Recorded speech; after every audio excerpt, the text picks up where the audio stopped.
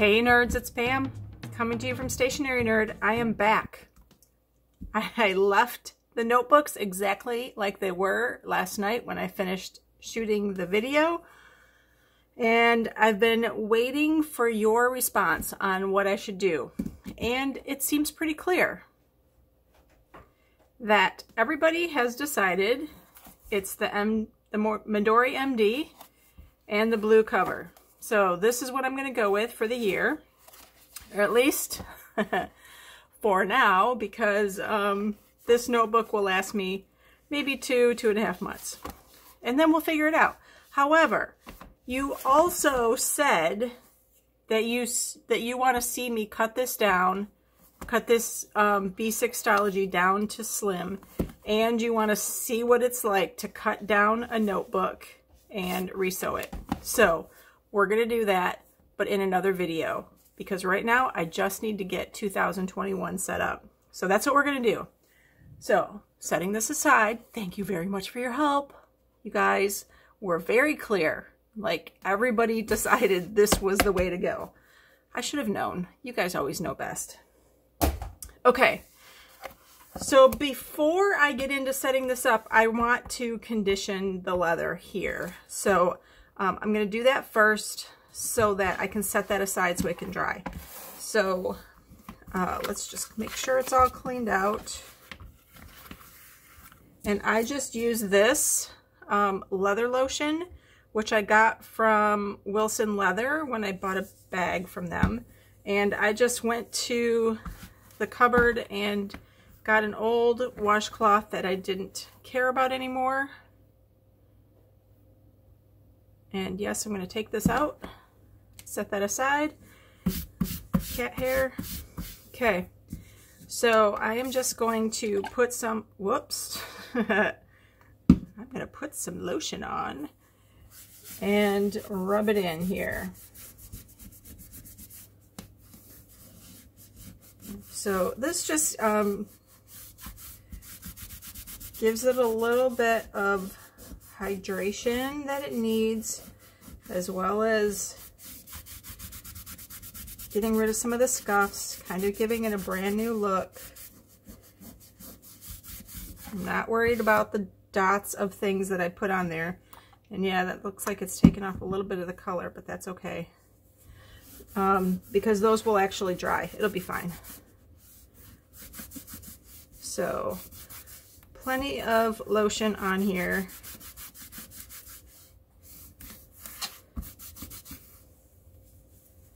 And pressing kind of hard, getting it into the grain there. And then I'm going to turn it over and do the flaps on the inside. So I do this with my notebooks maybe, I don't know, not as often as I should. I want to say it ends up being maybe once a year if I'm using it regularly or if it's sitting on a shelf and I decide to use it again, I'll usually do a a coat of the lotion leather and um, rehydrate things. So, and it will soak up over the next 15-20 minutes or so and then we'll come back to it and take a look and see how it looks and if it needs another coat or if it's good. So, do you guys um, do this with your leather? Do you condition it at all? Do you do anything with the, like a lotion leather or some type of balm or something? Would love to know what you do to keep your notebooks in good condition. I mean, I am the type of person who loves scuffed up leather and I just throw stuff in the bottom of my bag. So I don't really care if it gets scuffed up, but I do want it to be soft and supple leather. So, all right, this is good. I'm going to set this aside, hopefully in a spot where the cats don't think that they can sit on it and we'll come back to this at the end. Okay. Wait, just gonna do this one little bit right there. Apparently I missed it. Okay.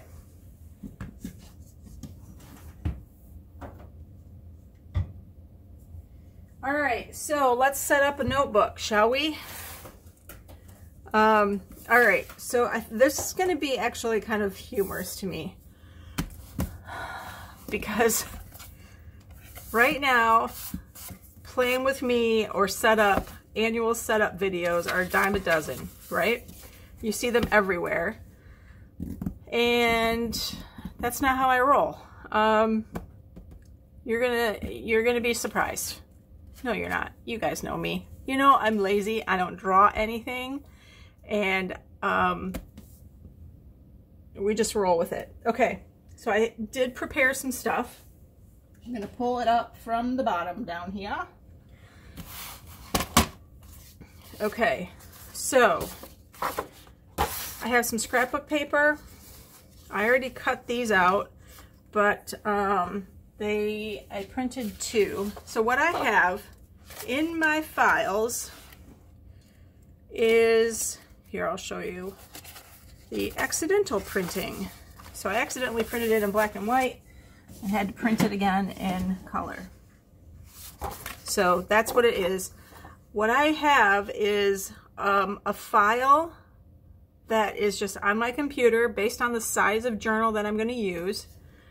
And I reprint that file whenever I'm ready to set up a new notebook.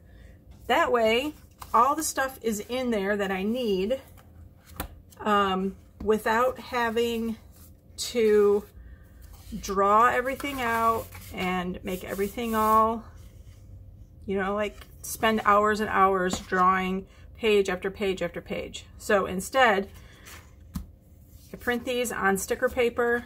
I usually back it with a bit of cardstock and then I don't really set up a lot of pages. So let's just get into it. Um, I need to measure some stuff and start cutting. So I do have a ruler. So I am going to leave this page blank. Maybe I'll do something nice here.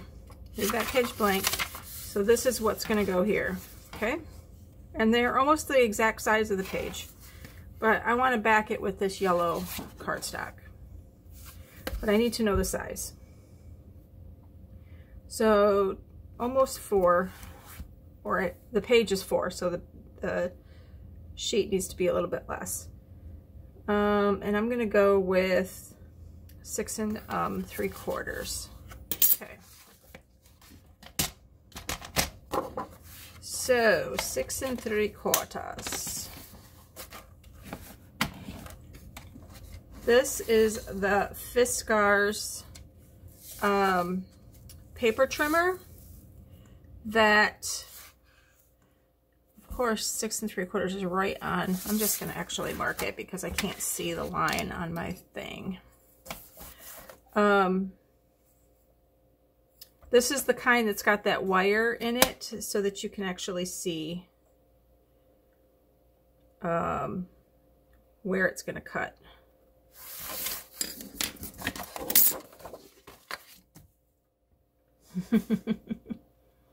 Six and three quarters.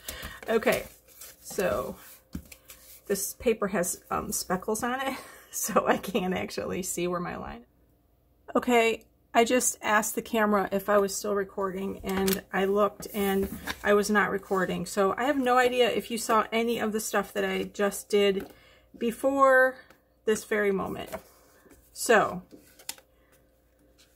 if not, I'll have to go back and refilm it. But basically, here we are setting up my journal. And I have cut two pieces of cardstock that will be the backer for the info pages that I'm putting on these two sheets. So I'm just placing this here.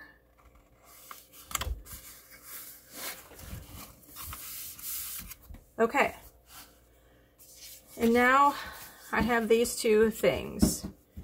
I printed these on sticker paper And this needs to be trimmed a little bit. It's not perfect. Where's my trimmer? Right here. I'm just going to trim that a little tiny bit right there. There's a little bit of white on the edge and that would bug me. So that's it. Okay, and now it's just... Okay, so I'm back again and I have changed to a different camera. Sorry, I don't mean to point at you with my scissors. Uh, apparently, I um, wasn't paying attention and the camera shut off again. I think that I forgot to put my phone on Do Not Disturb, so when I got a notification, it turned the recording off. So anyway, where are we? I don't even know how much of that went, but it was only like a minute and a half. So here's where we are. I have finished these two pages. This is going to be blank for now.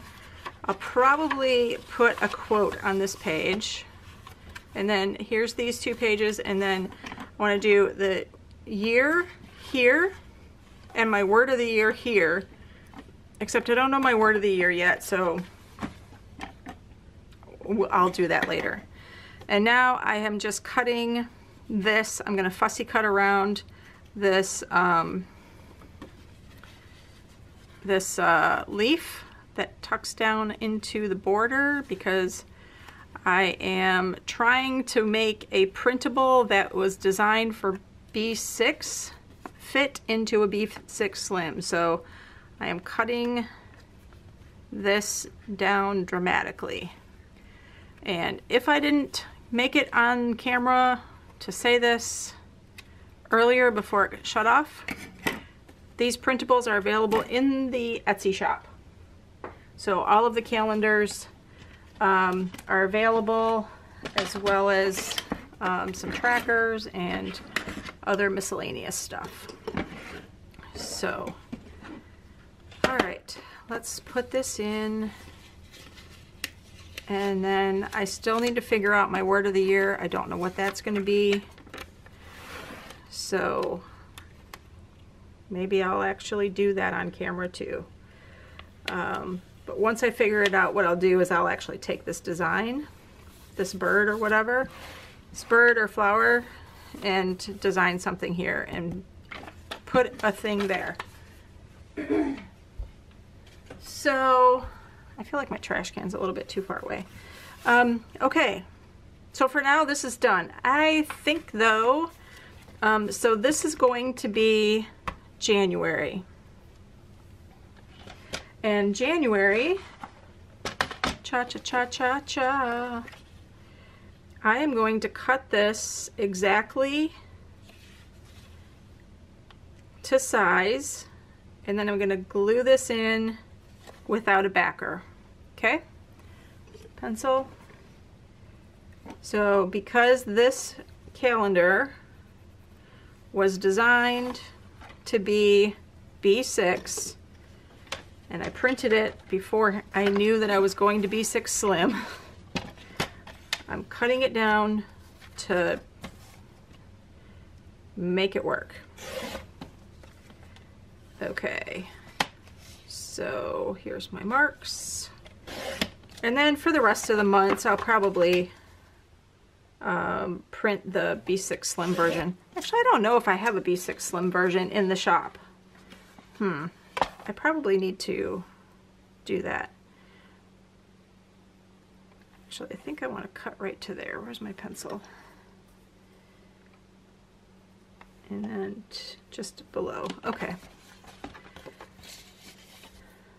So to here, because I want to keep that little greenery at the top. And then to here, throw all these scraps away. And again, I printed this on sticker paper. So it's easy to stick it in. Oh, you know what? I actually want to add a piece of washi, so hold on. let's see what I got over here. I pulled these because I think that it looks nice with the flowers. Or actually, I really like this. I'm going to use this one right there. This is a washi tape from London Gifties. Big thank you to them for sending this to me. And yes, we will do a, um, a review, kind of a walkthrough of what I got.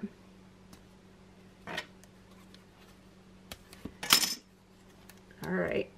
I want to put this down underneath the date sticker. The reason that I do this is because I like to be able to quickly flip to the month without having to have a marker there. And so this is the easy way to do that. And then that'll leave a nice decorative edge on this side as well. Okay, back to the sticker.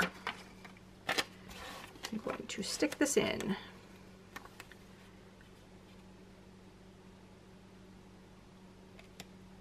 Straight. That looks nice. Okay. So January, um, all right, so let's take a look at my old journals and I'll show you what I've us I usually do. So this is the um, Stalogy that I just finished and I'm just going to flip to a month. Here we go. So you can see I put washi tape on the side so I can quickly find it. I'll also add a little date um, post-it notes too. But this is usually how I've done it in the past. And I've done this for I don't know, a year now, but I'm thinking of changing. So I would just write down the dates and then whatever important appointments or miscellaneous information, birthdays, um, are happening on those days, I would just make a note. And then this was really just a, okay, let's glance at the month, see what's coming.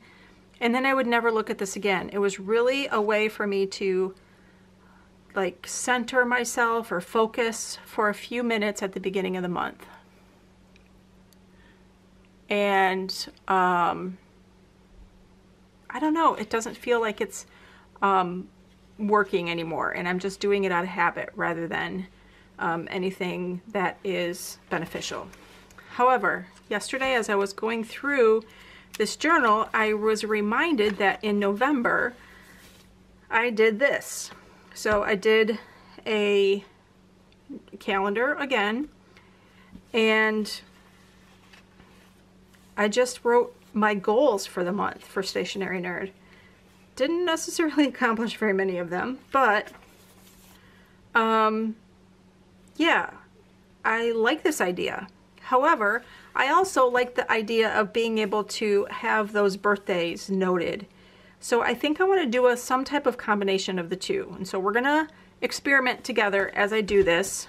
And I'm sure that it will be something that evolves over time as I go through um, the year. So I am just using my Pilot Hi-Tec-C Maica, which is um, one of my favorite pens, which they do not make the body anymore. So if you have the body, um, don't throw them away when they run out of ink. Any of the Pilot Hi-Tec-C refills will work. So I'm just going to do a title line here. And of course, did not do a good job of drawing. I like these pens because it's a super thin line and because um, it's uh, highlighter proof. So what if I do down at the bottom like a, a space for like a quote of the month or some type of saying or something? So I'll do that here. It's not equal. And then let's just kind of split the difference maybe somewhere around here. See, notice I am not measuring, I am not counting boxes, I'm just eyeballing it think that looks good. Um, and now I'm going to pull,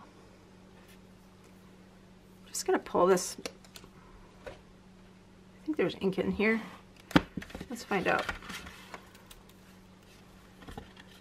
Jeez. Yep, gray ink in fact. So, what are we going to call that?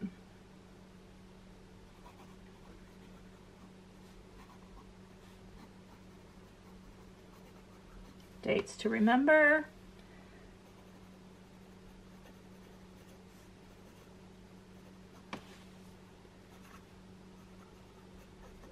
In a quote. Now, I don't know what I'm going to put there though. Um, I do have this washi over here though, I just noticed that I think I love. So let's use it. And we'll kind of use this as check boxes.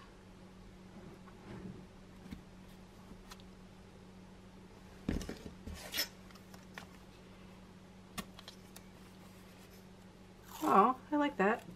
Okay, so I like that it lines up with the boxes, so it is five millimeter.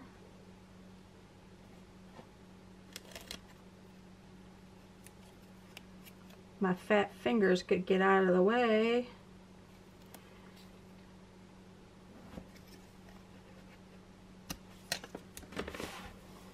All right, well, let's take a look and see what's on the calendar for this, for January.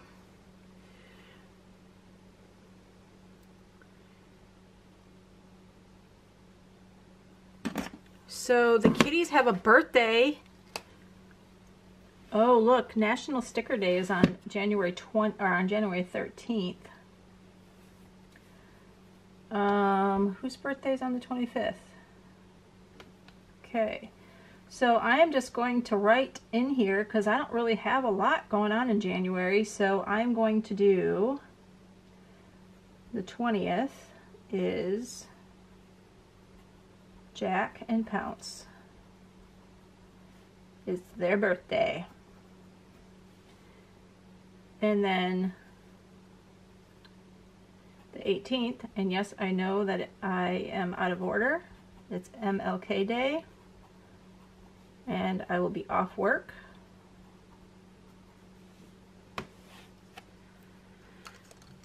Um, that's it. I don't have any I don't have any big stuff happening in January, which is fine. See, if I had done the calendar, I'd have like two things. So that feels better to me.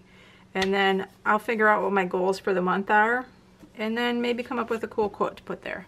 Okay, look at me. January is set up and I am ready for my first day of the month, which I am going to plan on that being tomorrow. So this is how I set up my day because I do one page per day. Uh, Sunday. One, three, 2021. And I kind of like the way that these pages are laid out. Not necessarily the highlighting at the top, but separating it out like that. I don't know. We'll see how it, how it goes. I am not one to set things up ahead. I literally, um, oh look, washi stuff. I could be cutting washi with this. Um, and then this is just a little habit tracker thing. It's, it's kind of broke. Um, okay, You guys, I am set up for 2021. Gotta love it. That's it. Uh, should I put something here? Maybe I will. Okay, I'm actually, I think I will put a, like a decorative piece of scrapbook paper there. Maybe one in the back. Um, let me go to the craft room and see if I can find something that hits my fancy. I'll be back.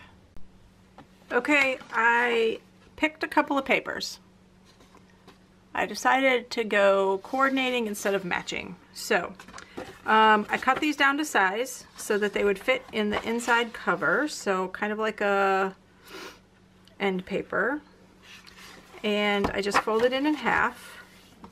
And what I'm going to do is um, tape one side lay it down and then tape the other side because knowing myself I would screw it up if I did both at once. So we're going to do it the safe way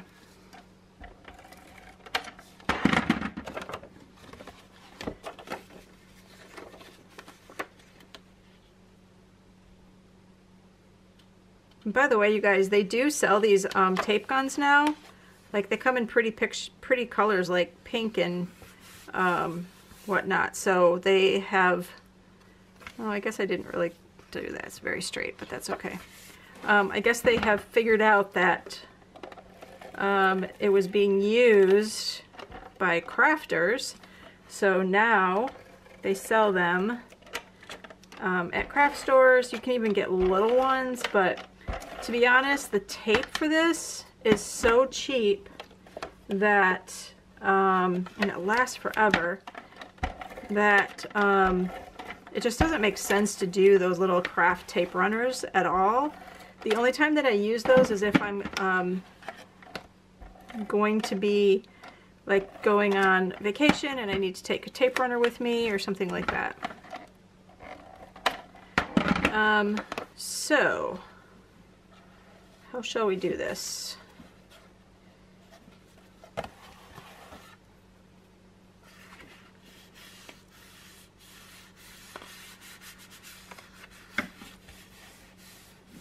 Okay.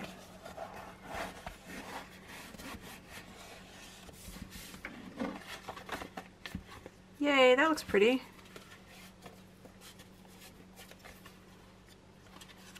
And that can kind of be a dashboard. I can put sticky notes and whatnot there. Okay, let's do the same thing on the back. So I'm just going to fold this in half. Oh, wait, I already folded it in half. And I'm going to do this side first. No, I'm going to do that side first.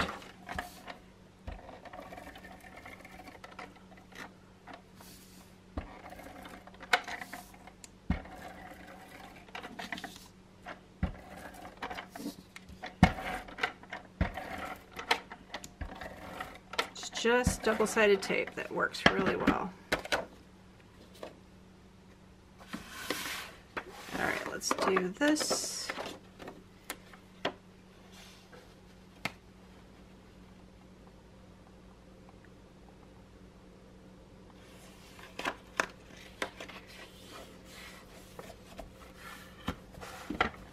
And then tape it along the edge. Did not do that really well.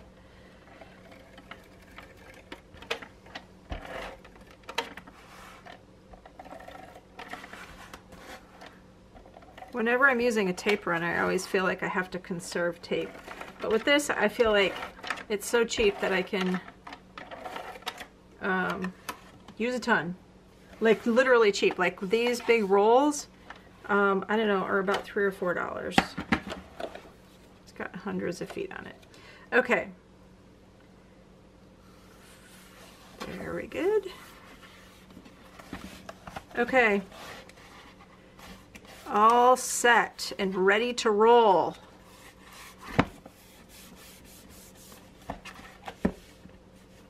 Perfect. And I need a, I need a post-it note. I'm gonna steal the one from the old journal and put it on January the 3rd. It's my little bookmark because I don't use a bookmark. And you might be wondering why I don't add collections. Well, I don't add collections at the beginning. I um, add them as I go. So when it gets to a point where I need to add a collection for something, I will add it at that time, not before. Okay, this leather looks awesome. Looks like a brand new notebook, doesn't it? Okay, let's put it together. And yeah, that, that cover does stick out a little bit, but it will, um, it'll be fine.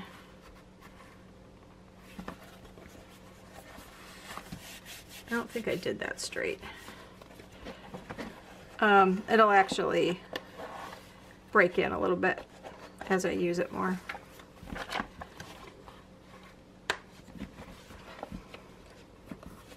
Get in there.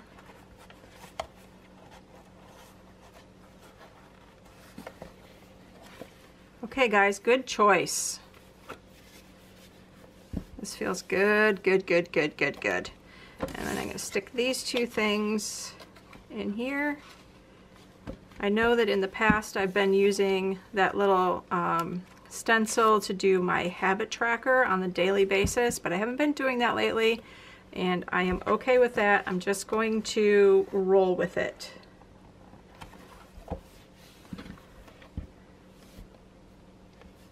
Heh, I love it. All set, 2020, let's go. All right, what do you think? Okay, um, that's it for now. However, um, in a day or two, I will actually do another video cutting this down, cutting this down, uh, resewing, and showing you how that goes.